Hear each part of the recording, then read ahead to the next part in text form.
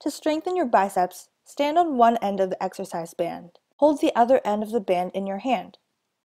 Start with your arm straight at your side with your palm facing forward. Bend your elbow, pulling the band up. Then return to the starting position and repeat five times or as directed.